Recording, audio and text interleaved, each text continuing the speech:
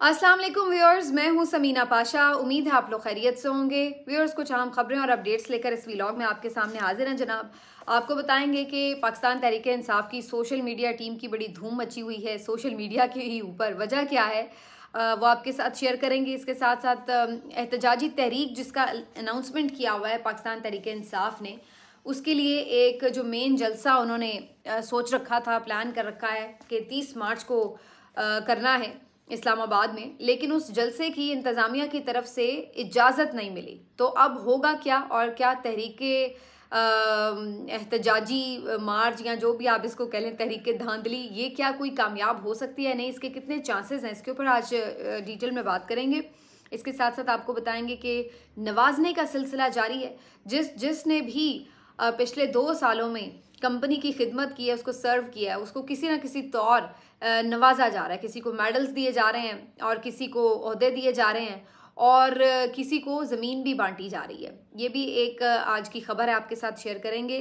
परवेज़ लाई साहब की कुछ अपडेट आपके साथ शेयर करूँगी और इसके साथ साथ आपको बताएँगे कि किस तरीके से ये जो कमज़ोर गवर्नमेंट है, इसके अपने फैसले खड़े नहीं रह सकते और बार बार शबाज शरीफ साहब को सुबकी का सामना क्यों करना पड़ रहा है। तो ये सब कुछ है जी। आज के इस वीलॉग में आपसे रिक्वेस्ट है कि चैनल को सब्सक्राइब कर लें। अगर अभी तक सब्सक्राइब नहीं किया। सबसे पहले जी बात कर लेते हैं क्योंकि शेर अफजल मरवत साहब ने जो एक कमेंट किया शाहिद आफरीदी साहब के दिफा करते हुए, उस कमेंट के ऊपर बहुत ज़्यादा क्रिटिसिज्म हुआ। और ख़ास तौर पर जो उनकी ये लाइन थी कि पीटीआई के प्लेटफॉर्म से कोई भी झूठा प्रोपेगेंडा नहीं होना चाहिए। आगे इसके ऊपर इजहार करना रद्दमल का ये बड़ा ज़रूरी है। तो ये जो लाइन है, ये काफ़ी ज़्यादा पीटीआई के सोशल मीडिया वर्कर्स को सोशल मीडिया टीम को और इवन सोशल मीडिया ही नहीं, बल्कि पीटीआई के बहुत सारे जो मुतहरक मेम्बरान हैं M N as M P as हैं, मुख्तलिफ़ लीडर्स हैं, उनकी तरफ़ से इसके ऊपर काफ़ी रिएक्शन आया है।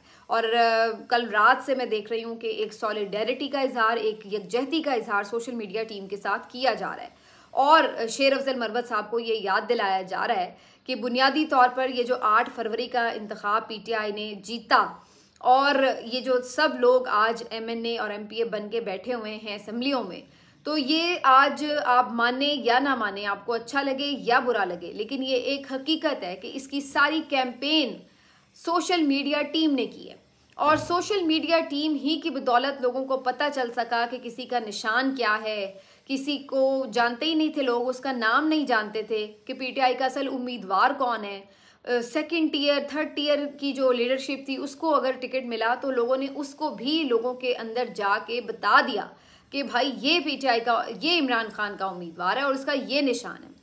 तो ये जो सारी एक पूरी कैंपेन थी और वो भी इतने मुख्तसर वक्त में, मैं पहले भी कह चुकी हूँ कि ये अपने दौर का एक और इनकलाब था, ये भी एक आईटी का इनकलाब था, अगर देखा जाए, कि किसी पार्टी ने पूरा इलेक्शन सिर्फ़ सोशल मीडिया के ऊपर ना सिर्फ़ ये कि लीड किया, बल्कि जीत लिया।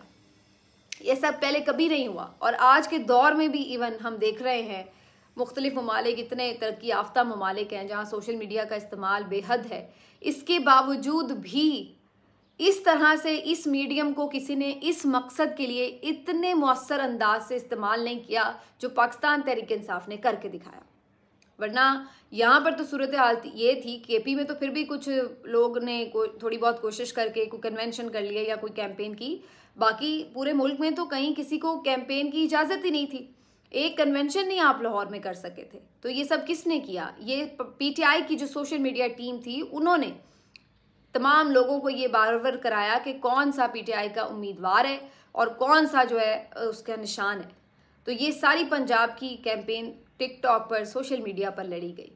तो आज अगर आप आके ये कहना शुरू कर दें कि जी सोशल मीडिया पीटीआई का जो है, वो प्रोपेगेंडा करता है, या उसके तरफ़ से कोई ट्रोलिंग की जाती है गैर ज़रूरी तौर पर तो ज़ाहिर है उनको तो फिर इस चीज़ की एक तकलीफ़ होनी थी। तो जहाँ पर सोशल मीडिया के अपने लोगों की तरफ़ से इसके ऊपर बहुत कंटेम किया गया। वहीं ख़ुद पाकिस्तान तहरीक इंसाफ के जो बड़े बड़े लीडर्स हैं, उनकी तरफ़ से भी इसके ऊपर ट्वीट्स की गई। नईम हैदर पंजोता हों, अली मोहम्मद खान साहब हों अज़हर मशवानी साहब हों, और जो पीटीआई के दीगर बहुत सारे, मैं, क्या नाम बताना शुरू करूँ, लेकिन सबने फिर इसके ऊपर आकर ये कहा कि जो सोशल मीडिया टीम है, वो तो पाकिस्तान तहरीक इंसाफ की जान है।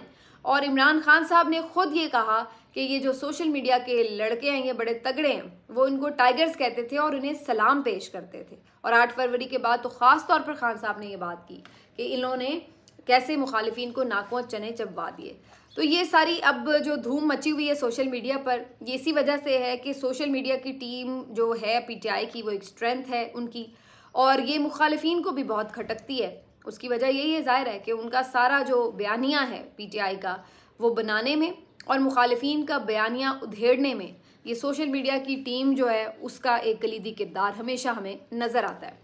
और मुखालफी की तरफ़ से भी ये कोशिश रही है कि किसी भी तरह इनको सोशल मीडिया की जो इनकी स्ट्रेंथ है, उसको तोड़ा जा सके और उसके ऊपर जो है उनको हिट किया जा सके बार बार ये हम देख रहे थे मुसलसल।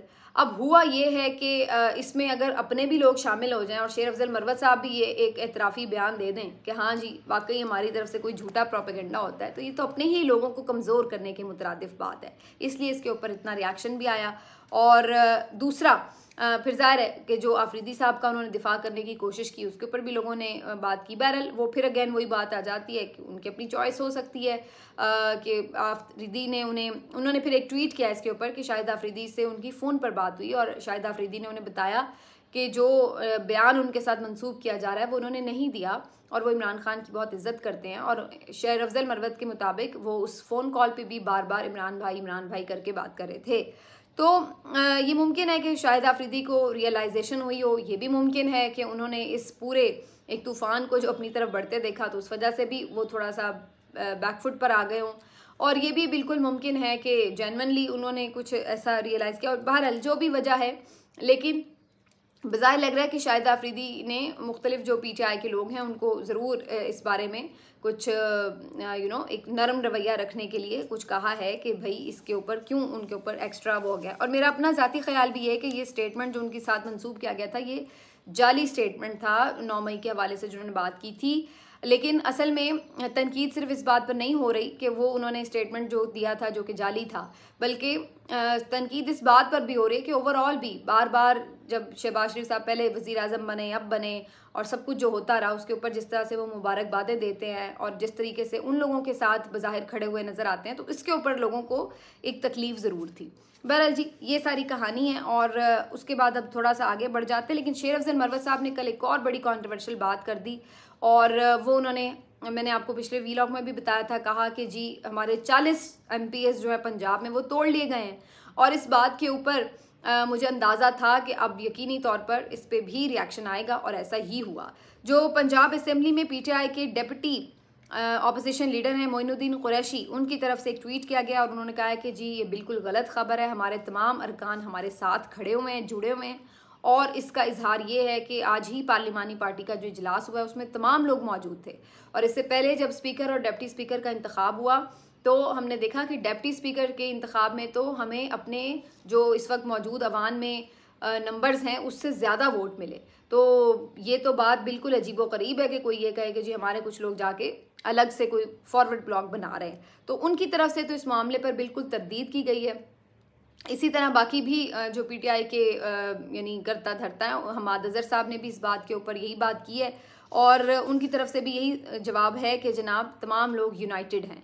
Uh, मैंने अपना अगर आप तजिया देखें तो मेरा भी यही का, मैंने कहा था कि मेरे पास इस हवाले से ख़बर नहीं है लेकिन मेरा तजिया ये है कि ये फ़िलहाल इस वक्त तो ये मुमकिन नज़र नहीं आ रहा कि पीटीआई के साथ दगा किया जाए या बेवफाई करके वो कैसे सरवाइव करेंगे पोलिटिकली जो पीटीआई के मेंबर्स होंगे जो अगर लोटे बने या फॉरवर्ड ब्लॉक बनाया तो मुझे इस बात में कुछ समझ नहीं आई कि ये कैसे मुमकिन है। लेकिन शेर अफजल मरवा साहब ने ये खबर दी थी अब शेर अफजल मरवत साहब क्या आ, कोई यानी उनके जो अंदर के ज़राए हैं वो उनको गलत खबर दे देते हैं? या अगर ये खबर दुरुस्त भी मान ली जाए कि ये खबर दुरुस्त है और कोई ऐसी बातचीत चल रही है इन मेंबर्स के साथ तो तब भी इसका तरीकाकार ये तो नहीं है कि आप मीडिया पर आकर ये अनाउंस कर दें।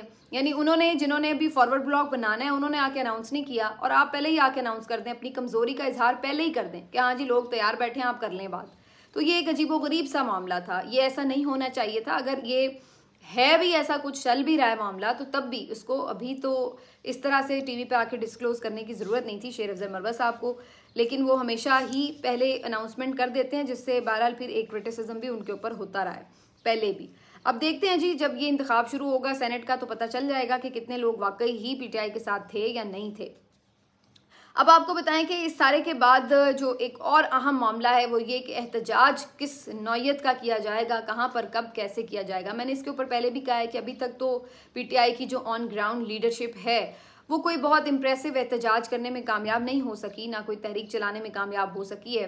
जब से आठ फरवरी का इलेक्शन गुजरा है। तो उसके बाद से अब इन्होंने एक बड़ा जलसा अनाउंस ज़रूर किया था तीस मार्च के लिए, लेकिन एज़ एक्सपेक्टेड ज़ाहिर है कि इन्हें पहले भी जलसे जुलूस की इजाज़त नहीं मिल रही। तो इस्लामाबाद इंतज़ामिया ने इस मरतबा भी तीस मार्च के जलसे के लिए इन्हें इजाज़त नहीं दी। और बताया ये गया कि रमज़ान है, योम अली वगैरह भी होगा आगे तो फिर इस वजह से हम सिक्योरिटी प्रोवाइड नहीं कर सकते। तो अब इसके ऊपर ज़ाहिर है कि इन्हें कोर्ट से ही रुजू करना पड़ेगा। और कोर्ट में इससे पहले भी जब इस मुतालिक बात हुई थी तो उन्होंने इस वक्त भी यही बात कही थी कि भाई, जब आप परेड के ऊपर इतना बड़े बड़े सफरा और इतने वीआईपी लोग यहाँ मौजूद थे, यहाँ पे आपने प्रोटोकॉल दिया और यहाँ पे सिक्योरिटी दी तो आप एक जलसे के लिए सिक्योरिटी पीटीआई को क्यों फराहम नहीं आखिर कर सकते? तो बहरहाल ये मामला फिर कोर्ट में ही जाता हुआ नज़र आ रहा है और अदरवाइज़ पीटीआई की तरफ़ से शेर अफजल मरवत साहब ने अगैन ये बात कही है कि अगर ये इजाज़त नहीं भी देंगे तो फिर भी हम जलसा करेंगे। अब हम इनकी इजाज़त के मरहून मिन्नत नहीं रहेंगे। तो अब ये बात तो बड़ी है, लेकिन देखना है कि क्या पीटीआई बगैर इजाज़त के जलसा करेगी और अगर करेगी भी तो फिर मज़ीद उनके ऊपर एफ़ आई आर कटेंगी मज़ीद मुकदमात होंगे। इसके लिए तो उन्हें मेंटली तैयार रहना पड़ेगा। अगर आपने तहरीक चलानी है तो आप ये तैयार रहें। कि आपको ये सब फिर भुगतना पड़ेगा, क्योंकि जो इस वक्त पूरा एक रजीम सेट है और जो एक हुकूमत नाम का एक सेटअप जो है इंस्टॉल किया गया है, इस सारे सेटअप ने ये तो तय रखा है कि इनका बचाओ या इनका इकतदार उसी सूरत में उसकी बका है कि अगर ये लोग डंडे के ज़ोर पर कोई एहतजाजी तहरीक चलने ही ना दें, लोगों को बाहर निकलने ही ना दें। तो ये इनका अब आमना सामना इसी तरह ही है। उनकी बका ये है कि वो कोई तहरीक उठाने में कामयाब हों और इनकी बका ये है कि ये कोई तहरीक चलने ना दें। अब ताकत ज़ाहिर इस वक्त इनके पास है, क्योंकि मशीनरी इनके पास है, इंतज़ामिया इनके पास है। दूसरी तरफ़ उनके पास ताकत है तो आवाम की ताकत है, क्योंकि आज भी मुझे लगता है कि जो पीटीआई के सपोर्टर्स हैं और जो उनके वर्कर्स हैं वो आज भी इस बात के ऊपर बेचैन हैं और वो तैयार हैं कि उन्हें कॉल मिले और वो बाहर निकल सकें। ऐसा नहीं है कि वो मायूस होकर अब ठंडे होकर बैठ गए हैं। स्टिल uh, जब तक इमरान खान खड़ा है तो वो भी उनके साथ खड़े हैं। अगर वो कहते हैं वो हमारा लीडर फाइट कर रहा है तो हम भी उन, उसके साथ फाइट करेंगे। तो ये अगर आप कहें ना कि चिंगारी एक मौजूद है और इस चिंगारी को बस एक ज़रा सी हवा मिलनी है और फिर इसने भड़क उठना है तो ये ऐसी सूरत हाल है।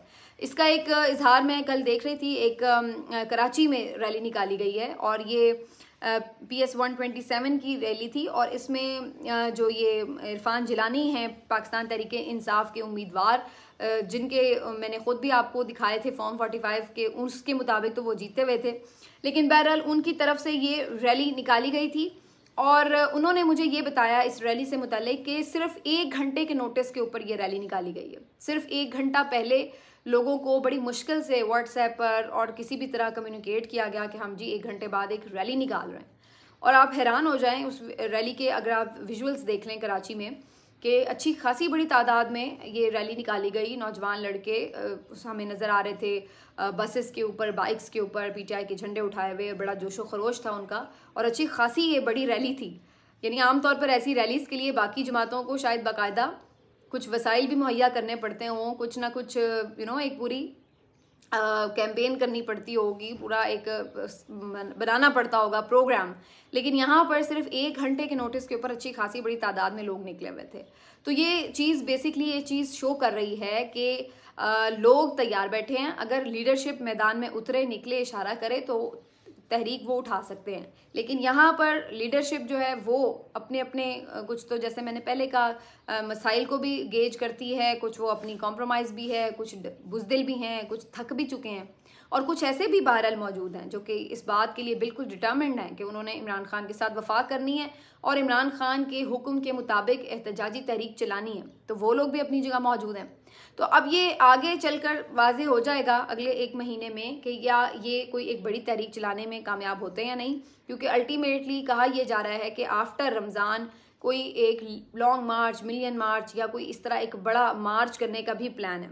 तो ये अब देखना पड़ेगा जी आने वाले दिनों में कि ये किस कदर एक मौसर तहरीक चलाने में कामयाब होते हैं। दूसरी तरफ़ परवेज़ लाई साहब की एक अपडेट दे दूँ, मैंने कुछ दिन पहले भी बात की थी कि उनको शदीद चोटें आई हैं और मैं हैरान हूँ कि उस तरह से आवाज़ भी नहीं उनके ऊपर उठाई गई। बाद में फिर मैंने देखा कि कुछ लोगों की तरफ़ से इसके ऊपर बिल्कुल रेज़ किया गया क्वेश्चन कि उन्हें क्यों नहीं मेडिकल फैसिलिटी दी जा रही। अब खैबर पख्तूनख्वा हुकूमत की तरफ़ से ये ऐलान किया गया है कि उनके डॉक्टर्स जो हैं वो परवेज़ लाई साहब को जाके चेक करना चाहते हैं और वो मुआयना करवाएँगे उनका। देखते हैं, अब इस बात की भी उन्हें परमिशन मिलती है नहीं। एक तो हर बात में मसला ये ना परमिशन मिलती है नहीं। तो ये भी एक इंपॉर्टेंट मामला है। एक जो मैंने शुरू में बात की थी, आपको उसके हवाले से भी आगाह कर दूँ, जहाँ नवाजने का सिलसिला जारी है वहीं पर।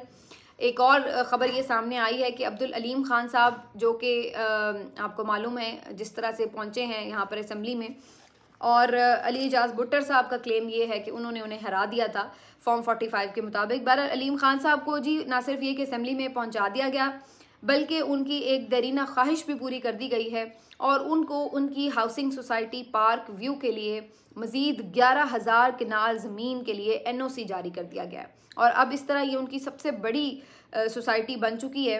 इकतीस हज़ार किनाल अराजी उनकी टोटल इस सोसाइटी को अलॉट कर दी गई है और रूडा की तरफ़ से ये नया एनओसी भी जारी कर दिया गया तो अलीम खान साहब, ये बहुत अरसे से चाह रहे थे इसके मुतालिक इमरान खान साहब के भी, बल्कि एक दो स्टेटमेंट्स मौजूद हैं ऑन ग्राउंड ऑन रिकॉर्ड के अलीम खान साहब जो हैं, वो कुछ इस तरह से ज़मीन के हवाले से उनसे कोई फेवर चाहते थे।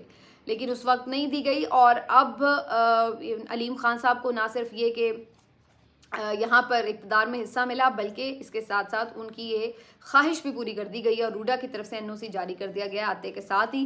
तो इस तरह उन्होंने एक इकतीस हज़ार कनाल अराजी पर मुश्तमिल अपनी जो सोसाइटी है, उसको मज़ीद वसी और ईज़ कर लिया है। तो ये सूरत हाल है जनाब, नवाजने का सिलसिला पहले भी हम देख रहे हैं, जिस तरह से अवार्ड्स भी नवाजे गए हैं, वो भी सबने देखा। तो मैंने कल भी उस पर ट्वीट किया था कि जैसे इलेक्शन है, वैसे ही अवार्ड है। और बल्कि इसमें कुछ तो बिल्कुल सही बात है, काबिल लोगों को भी मिले हैं। लेकिन जब आप इस तरह गैर मुस्तक अफराद को भी अवार्ड्स दे देते हैं तो फिर उसके बाद उनकी वैल्यू भी जो है हमें वो कम होती नज़र आती है। बहरहाल जी, मिलते हैं आपसे अगले वीलों में। अपना ख्याल रखिए। अल्लाह हाफिज़।